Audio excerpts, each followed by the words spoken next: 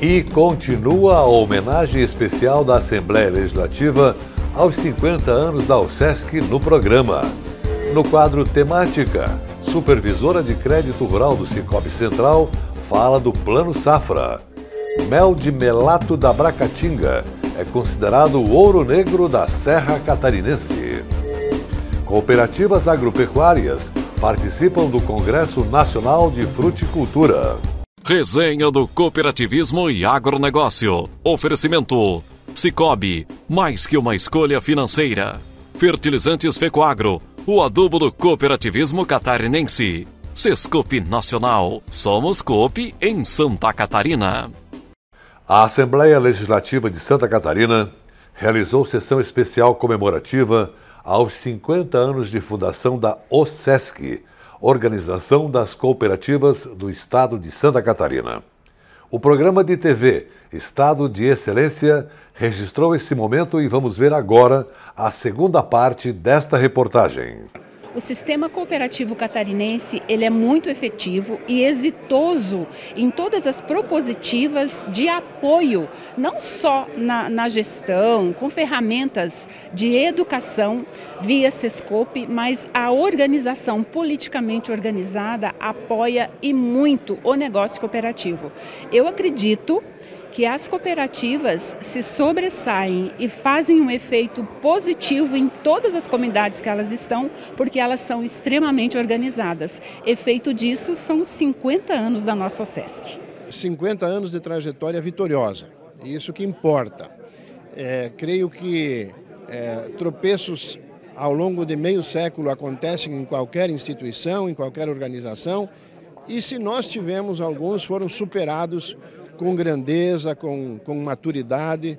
E hoje nós eh, sentimos a grande responsabilidade que é estarmos com o melhor cooperativismo brasileiro para podermos continuar fazê-lo crescer, eh, oportunizando às pessoas que são o alvo de todos os ramos do cooperativismo espaço, oportunidade para viverem bem eh, na economia e na sociedade. Nossa OSESC sempre representou bem o sistema é, tanto de crédito quanto agropecuário, de, de, de, de, educação, de todas as áreas, né? Cumpre o seu trabalho e isso é que dignifica o nome e a representação que esse sistema tem, que esse sistema representa para nós.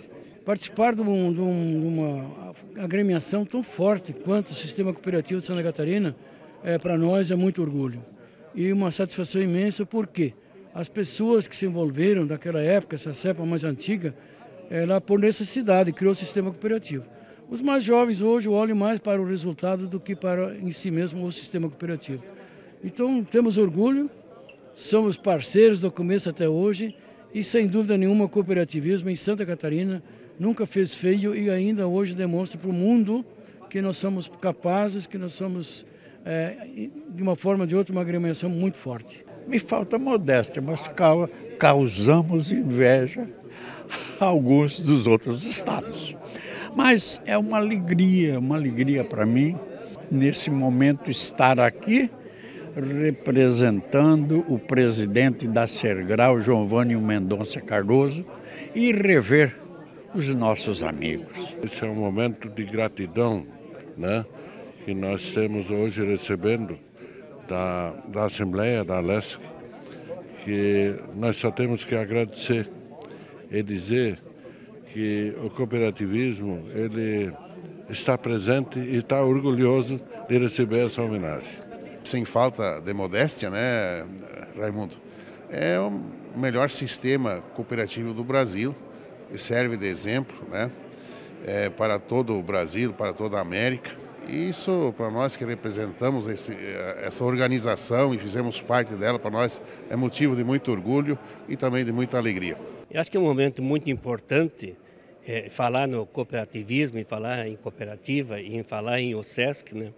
É um trabalho assim muito importante, onde a gente já está acompanhando aí há 43 anos. Então é um trabalho assim gratificante que ela vem fazendo em todo o setor do cooperativismo, que é muito importante. O trabalho que o SESC faz, o trabalho que o cooperativismo faz, e que tem feito nesses 50 anos e continuará fazendo, tenho certeza, é excepcional. Depois é um trabalho importante que atinge todos, atinge o urbano, atinge o rural e principalmente na pregação do cooperativismo. E as cooperativas conseguiram profissionalizar todos os seus, o seu quadro de funcionários, o próprio associado. Então, isso um ajuda o outro e vai crescendo cada vez mais. É fundamental para nós do cooperativismo ter as nossas organizações que nos atendem nas nossas demandas, que hoje são tão necessárias. Ah, fora do portão da fazenda, temos um mundo cheio de dúvidas, cheio de dificuldades e as nossas organizações têm que nos defender e criar um rumo, um norte para podermos continuar produzindo dentro da propriedade com tranquilidade. Se as cooperativas são fortes, em parte se deve ao SESC, por quê? Pelo poder de aglutinação que ela tem com todos os ramos, com todos, a, a todas as cooperativas. Então, isso demonstra que juntos temos força. A OSESC faz seu trabalho institucional, como o seu estatuto prevê, né? e levando para a sociedade a transparência, a, a, credibilidade que o sistema cooperativo precisa, pois ele trabalha com pessoas e pessoas sem, eh, vamos dizer, precisamos de confiança, precisamos acreditar nas pessoas. Temática Análise das lideranças do agronegócio e do cooperativismo. Apoio Sescope, Serviço Nacional de Aprendizagem do Cooperativismo. E vem chegando por aí a supervisora de crédito rural do Cicobi Central Santa Catarina, Rio Grande do Sul, Luísa Oliveira, vai comentar sobre o Plano Safra 2022-23 lançado pelo governo federal. Olá, associado, tudo bem? Eu sou Luísa e falo em nome do Cicobi Central Santa Catarina e Rio Grande do Sul. Como você já sabe, na semana passada, no dia 29 de junho, o governo federal lançou o Plano Safra 2022-2023, com mais de 340 bilhões de reais destinados para apoiar as atividades agropecuárias do nosso país até junho do ano que vem. Esse valor representa um aumento de 36% em relação ao Plano Safra anterior e é destinado para todos os portes de produtores, pequeno, médio e grandes produtores do nosso país. Para atender esses, produtores, o Cicobi nível nacional tem a perspectiva de liberar mais de 40 bilhões de reais neste Plano Safra 2022-2023.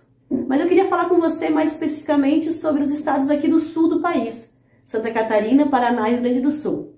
Para atender esses pequenos, médios e grandes produtores, nossos panoramas indicam liberações em torno de 10 bilhões de reais para a safra 22-23 em todas as finalidades, desde o custeio, investimento, comercialização e industrialização.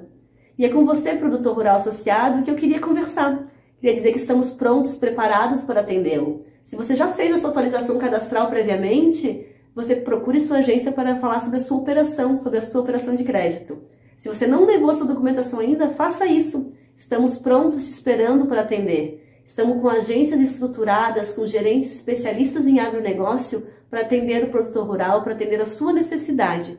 Então, vá, procure a sua agência, tire sua dúvida, fale sobre o seu enquadramento, com certeza você encontrará alguém especialista para atender a sua necessidade.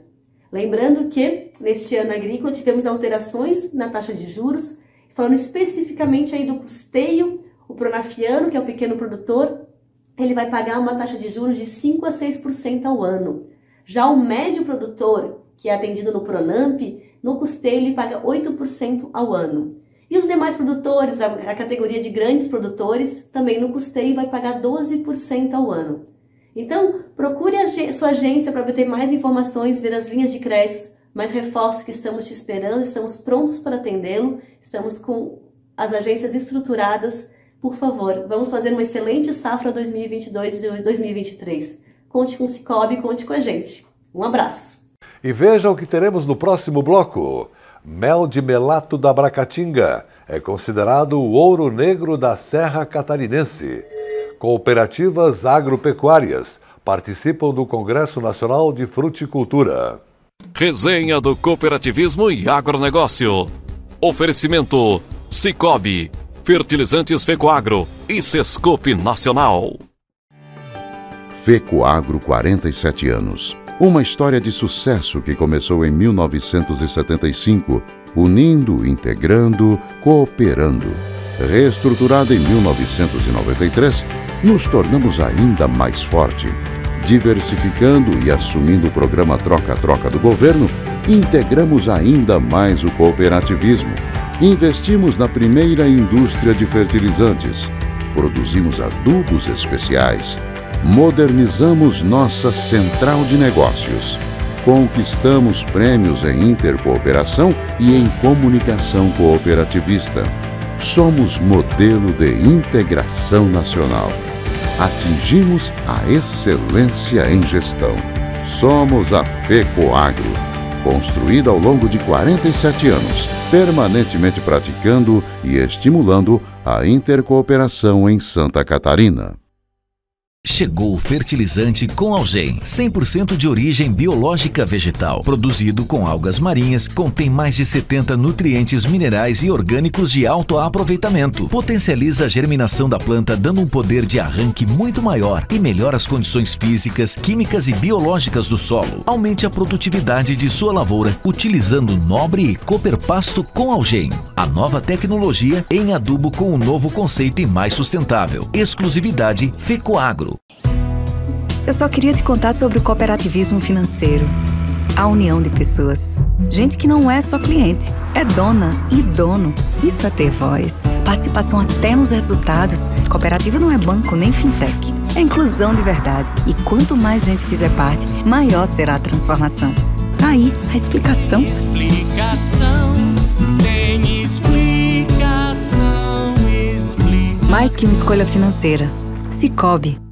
Agricultor. Em época de elevação dos custos de produção e escassez de fertilizantes, o caminho é aumentar a produtividade para não perder lucratividade. Fertilizantes especiais com tecnologias de ponta aumentam o rendimento na lavoura. A linha nobre de adubos da Fecoagro assegura maior produtividade na mesma área. Os fertilizantes nobre atendem a todas as culturas. O Cooper Animais e o Cooper Pasto são produtos diferenciados que ajudam você a economizar. Peça nobre na sua cooperativa. Tenha garantia Fecoagro. A FECOAGRO disponibiliza ao mercado de fertilizantes novas tecnologias de nutrição e proteção de grânulos. O Cooper N+, com duas moléculas de proteção, reduz perdas por volatização e lixiviação, facilitando a sua aplicação e otimizando a absorção pelas plantas. Aumente o aproveitamento de nitrogênio na sua lavoura usando Ureia Cooper N+, um produto com mais proteção e de fácil manejo. Produtos exclusivos da FECOAGRO. Peça já na sua cooperativa. As notícias do agronegócio e do cooperativismo de Santa Catarina estão em todas as mídias. Veja no site www.fecoagro.coop.br uma variedade de informações de interesse do homem do campo. Diariamente tem notícias do cooperativismo, informações do mercado agrícola, tem comentários, tem os vídeos da Fecoagro, acesso aos sites das cooperativas, tem os programas de rádio da Fecoagro e tem também o acesso à TV Cop.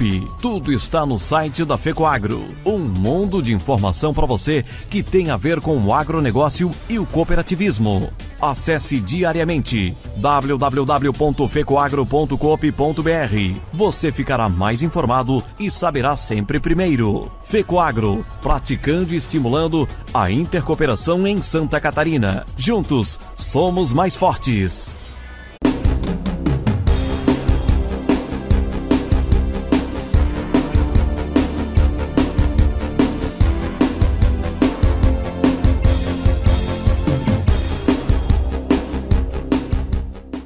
Mel de melato da Bracatinga é fabricado pelas abelhas a partir do líquido açucarado que um pequeno inseto chamado cochonilha produz ao se alimentar da seiva da planta. O mel de melato da Bracatinga conquistou o selo de indicação geográfica, comprovando assim a excelência na qualidade do produto, reconhecida internacionalmente. Veja a primeira parte da reportagem do programa de TV SC Agricultura. Impossível não se encantar diante da riqueza e diversidade florestal da Serra Catarinense. Um mosaico composto por campos e florestas que se caracteriza pela presença ilustre da araucária, o nosso pinheiro brasileiro. Faz parte também desse ecossistema a bracatinga, uma árvore nativa das regiões mais frias do Brasil Quando floresce no inverno e início da primavera, ela nos proporciona um espetáculo da natureza.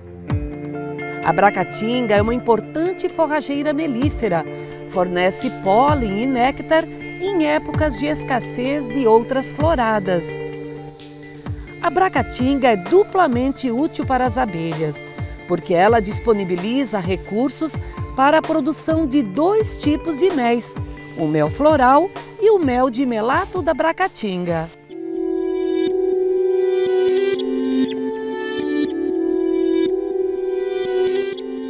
O mel de melato de bracatinga é considerado um verdadeiro tesouro do Planalto Sul do Brasil.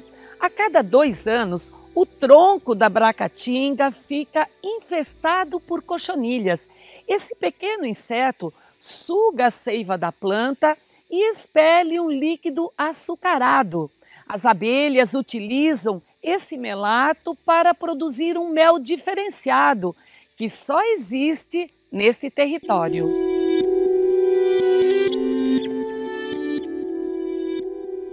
Então a bracatinga é muito variável em todo o território brasileiro, né? tem muitas variedades, mas aqui na Serra Catarinense ela tem uma expectativa de vida de 10 a 12 anos, até 14 anos, sendo que na maior parte desse período ela pode ter o fenômeno de melação e produzindo. Isso dá em torno de 5 a 6 safras a cada dois anos é, de, de, de melato, né? para que as abelhas possam fazer um mel mais puro de melato da bracatinga. A produção do mel de melato da bracatinga ocorre somente em regiões com altitudes acima de 700 metros no Planalto Sul brasileiro. Nós estamos aqui numa propriedade onde existe uma pequena área com bracatingas.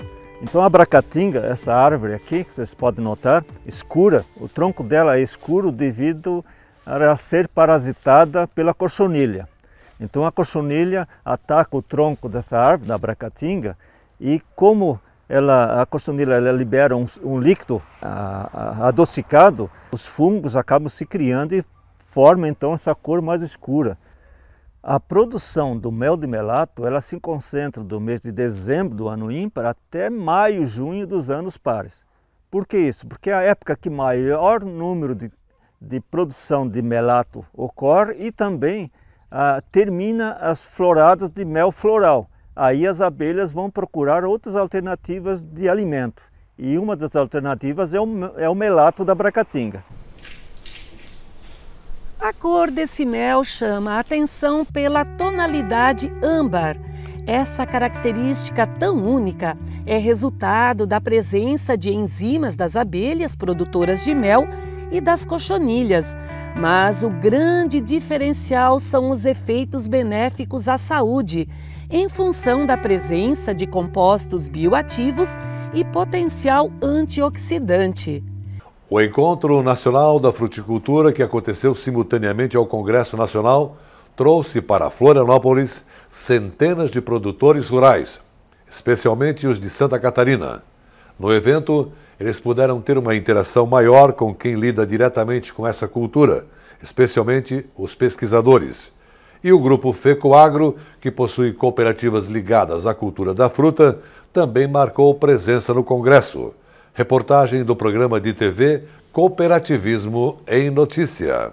A banana, o maracujá, a pitaia, o mamão, a pera, o caqui, a maçã, a goiaba, enfim, as frutas de caroço, de uma forma geral, são as queridinhas do mercado consumidor brasileiro. E todo esse universo foi exposto em Florianópolis durante o Congresso Brasileiro de Fruticultura.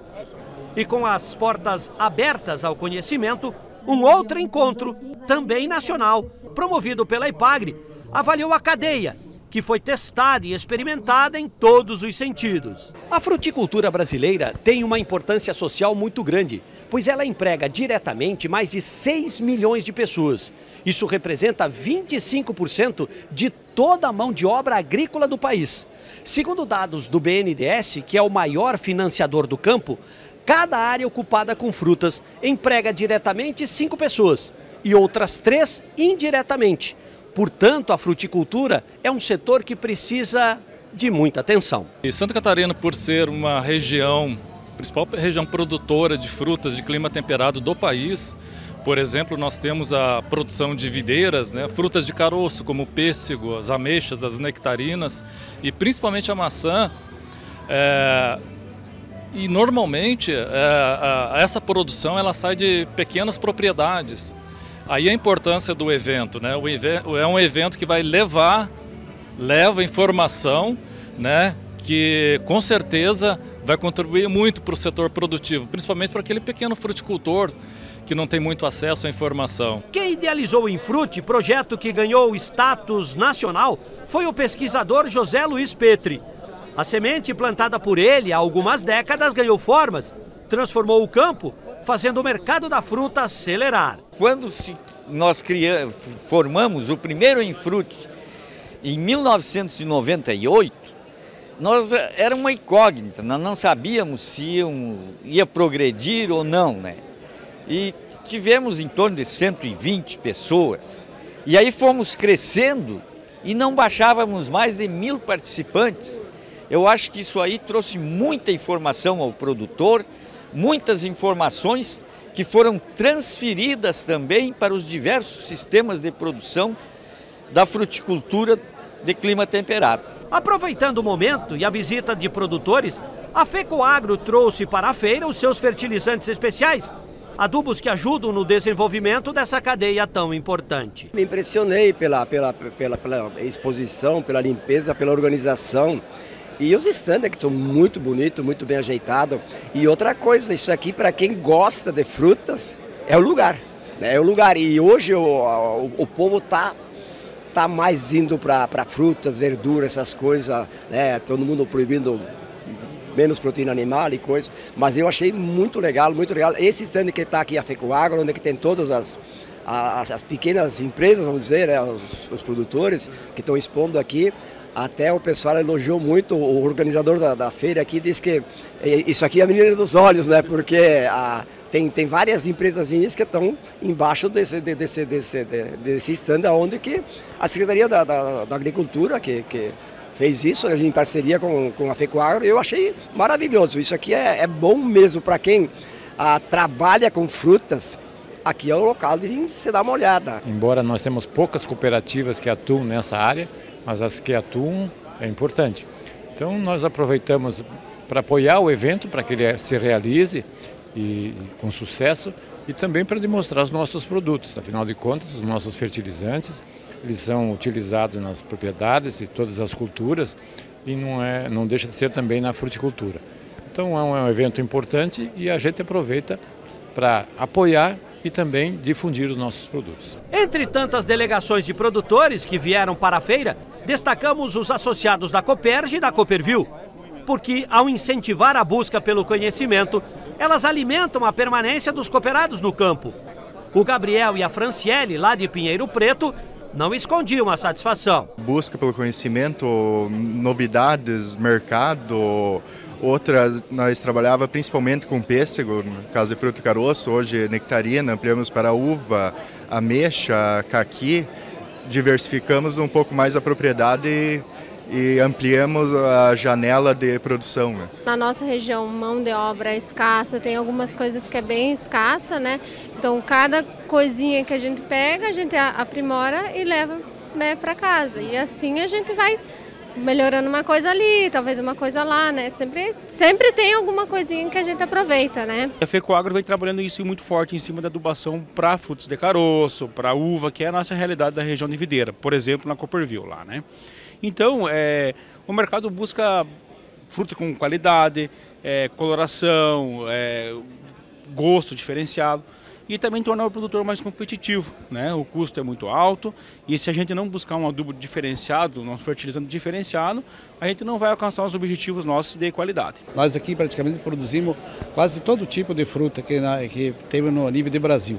Começando lá pelo sul do estado, nós temos a, o maracujá, tem a banana, a, também nós temos a região do Alto Vale que produz também a banana. E nós pegando daí a Serra, a região de São Joaquim, Lages, a região do Vale do Rio do Peixe, nós somos grandes produtores de fruta. Aí nós temos a maçã, que hoje nós temos uma das melhores maçãs ah, do Brasil, produzida em Santa Catarina, que exporta para diversos países. E a fruta também de clima temperado, que aí entra ameixa, nectarina, pêssego, pera, goiaba, nós temos também. Então nós temos eh, Santa Catarina realmente na produção de frutas, sem contar com a uva, somos a capital da a videira, a capital da uva do estado de Santa Catarina. Então, mas isso nós devemos muito a, a esse trabalho que a Ipagre vem, vem fazendo ao longo dos anos. Já o Anderson e o Laércio vieram na delegação da Copérgia. Um planta maracujá, o outro banana. Viver esse momento, para eles, teve um significado todo especial. A gente vem buscar tecnologia, conversar com os, os agricultores que produzem as frutas aqui da região, né? E é isso, buscar melhorar a produção e passar o que a gente sabe também para outros agricultores aqui na feira, né? É muito bom para o agricultor, sabe, estar tá numa feira assim, porque é onde tem encontros com as pessoas que têm as mais nova tecnologia à disposição do agricultor. Estamos ampliando muito com diversificação, então tem maracujá, pitaia, é, banana, que já são super consolidadas, e também estamos diversificando cada vez mais com frutas de caroço na Serra Gaúcha, abacaxi também no Rio Grande do Sul, morango, né, que está ampliando cada vez mais, e a gente está tentando fortalecer essas culturas para diversificar ainda mais a nossa região. Nós estamos entre duas capitais, Floripa e Porto Alegre, e além de estar a 700, 800 de São Paulo, Curitiba, e acredito sim, o nosso clima é muito bom, produtores estão entendendo que a fruta é um negócio que dá rentabilidade à sua propriedade, não, não, é, não é que não dá serviço, mas é um, é um negócio que é, dá para fazer outra coisa, é uma, é uma nova atividade que ele está descobrindo. E isso aconteceu com o maracujá, aconteceu com a pitaia, está acontecendo com a amora e também com o brócolis. Então a gente está muito contente com essa diversificação e acredito sim que vai dar bons frutos ainda para a cooperativa e para os nossos associados. E com a excelente participação das cooperativas agropecuárias no Congresso Nacional de Fruticultura, encerramos por aqui o nosso programa de hoje. Muito obrigado pela sua audiência, um grande abraço e até amanhã.